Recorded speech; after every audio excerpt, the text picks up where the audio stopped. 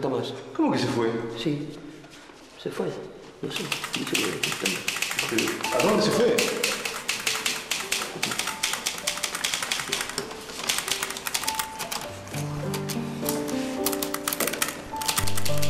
Al salir del hospital estaba inquieto.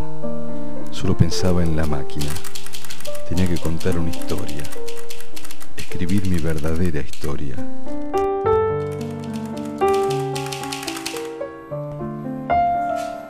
Federico? Puede ser que alguien haya visto lo mismo que yo imaginé en uno de mis cuentos.